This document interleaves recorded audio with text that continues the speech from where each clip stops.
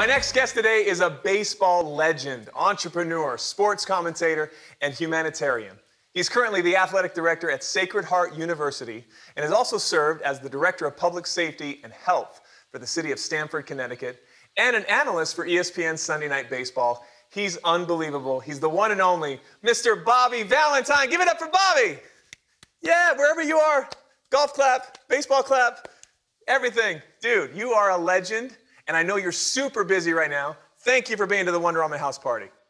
You know, it's always good be, to be with you. I could party in any house, and I'm glad I'm in yours. That's all, dude. You've been playing sports your whole life, is that right? Yeah, basically. And now I'm playing the old man's game of golf. So yes, I have. Been. Are you playing well? What's your game like? I'm uh, trying to get good at it. As a matter of fact, yeah, it's a little frustrating. Yeah. You've done some really cool things, uh, some amazing life lessons. Sports is an, an analogy for life as well, and you mentor a lot of people. And as the athletic director at Sacred Heart, you, you, you coach, you teach, and you inspire. What advice can you give right now to all the kids that are watching right now? They're looking up to you, being such a legend, who want to go into sports, that you can encourage them uh, for what they want to achieve, whatever their goals are. What would you say? Well, that, that sports are there to to have fun, to play. You play sports, huh? You don't work at sports. So play is fun. You have to always remember that that's the connection you need. And the way to enjoy the game the most is by being prepared to play, both physically and mentally, but also understanding that at the end of the day, you will be successful if you give your best.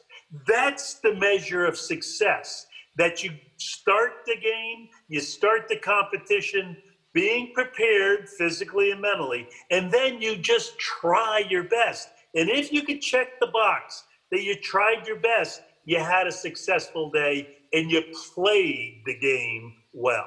This is a big year for our country. It's a census year. Why do you think, Bobby, it's so important?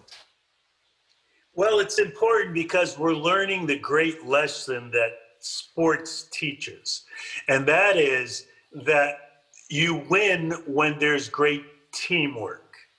And you have great teamwork when you have trust in the leadership. And this year, we're realizing that there's less teamwork because there's less trust, and that our leaders must work hard at developing trust in what they're wanting their team to do so that that team can perform the way a team performs best, and that's together.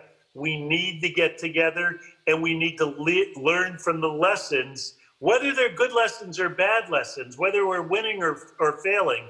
You must learn from what's happened in the past. And right now, there's a lot of lessons to be learned from. Absolutely. Amen to that. Thank you for that. Another life lesson from Bobby Valentine. We really appreciate you. Thanks for all you do.